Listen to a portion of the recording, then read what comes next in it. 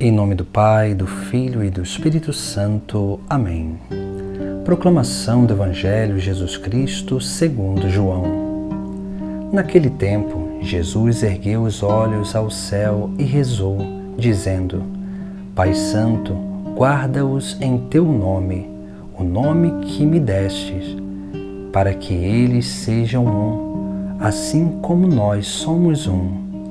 Quando eu estava com eles, guardava-os em teu nome, o nome que me deste. Eu guardei-os e nenhum deles se perdeu, a não ser o filho da perdição, para se cumprir a Escritura. Agora eu vou para junto de ti e digo estas coisas, estando ainda no mundo, para que eles tenham em si a minha alegria plenamente realizada. Eu lhes dei a tua palavra, mas o mundo os rejeitou, porque não são do mundo, como eu não sou do mundo. Não te peço que os tires do mundo, mas que os guardes do maligno. Eles não são do mundo, como eu não sou do mundo. Consagra-os na verdade, a tua palavra é verdade. Como tu me enviastes ao mundo, assim também eu os enviei ao mundo. Eu me consagro por eles, a fim de que eles também sejam consagrados na verdade. Palavra da salvação. No Evangelho de hoje, nós contemplamos esse mistério da unidade entre Cristo, o Filho e o Pai do céu. Mas esse mistério de unidade que também deve acontecer entre cada fiel e o próprio Deus, numa participação da vida divina. Jesus mesmo diz isso no Sagrado Evangelho e ele vai dizer: para que eles sejam um, assim como nós somos um. Ou seja, Jesus Cristo nos chama a um mistério de unidade com a Trindade, com o próprio Deus e com o próximo para que nós possamos viver esse mistério do corpo místico, esse mistério da vida eterna começada nesta terra. Por isso que Jesus Cristo, ele faz essa oração pelos seus discípulos e intercede pelos seus discípulos. E ele vai ali elencando alguns elementos essenciais, e um deles aparece lá no final do evangelho. E Jesus vai dizer duas coisas, aliás. A primeira é que eles, ou seja, a igreja, os discípulos, não são do mundo. Eles estão no mundo. E ele mesmo vai dizer: assim como ele não é do mundo. Veja que Jesus Cristo ele nos chama a atenção que nós não podemos viver uma vida mundana. Nós não podemos viver uma vida segundo o mundo as desordens mundanas, mas precisamos viver uma vida segundo a verdade. E aqui está o outro aspecto, no final do Evangelho, que Jesus Cristo vai dizer: consagra-os na verdade, a tua palavra é verdade. Ou seja, Jesus ele quer consagrar os seus discípulos. Jesus ele consagra os seus discípulos à verdade.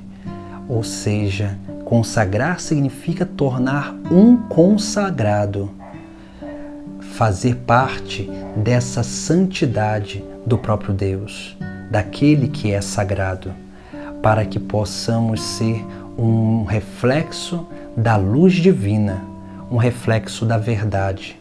E isso nós precisamos aprender a viver em nossa vida, porque nós somos esses instrumentos da verdade no mundo Aonde um cristão está, ali a verdade ela aparece. E nós não precisamos nem abrir os nossos lábios, porque a nossa forma de vida, que é o nosso testemunho eficaz, é sim essa manifestação da verdade. Por isso que Jesus Cristo, ele fala justamente sobre essa questão da verdade.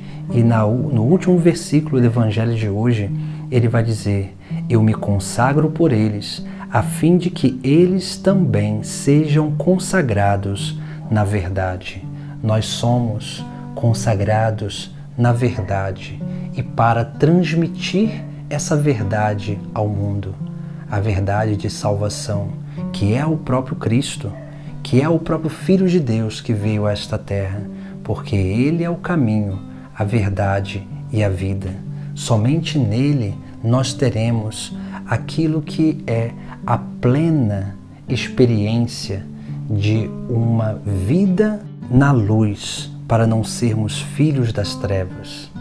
Só nele nós teremos essa experiência de refletir a verdade de Deus, a verdade por essência, aquela verdade que já está desde a criação, que foi impressa em cada coisa, em cada criatura. Só em Cristo nós seremos capazes de transmitir essa verdade essencial.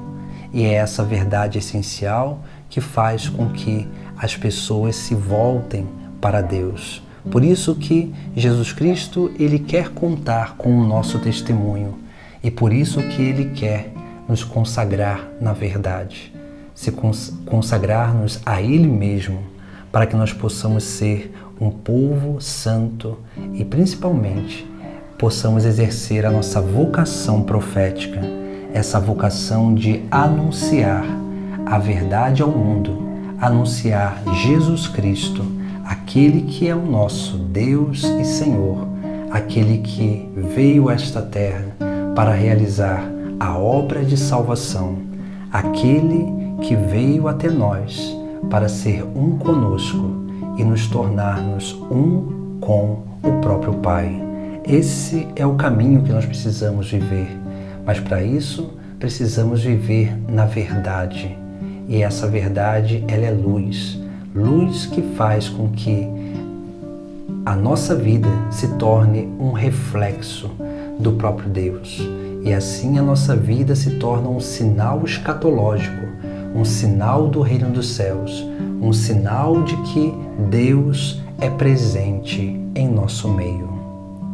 Por isso, nos consagremos à verdade, nos consagremos ao próprio Cristo, para que a nossa vida seja o verdadeiro Evangelho vivo que faz com que as pessoas leiam e conheçam a vida do próprio Cristo, aquele que é o caminho, a verdade e a vida.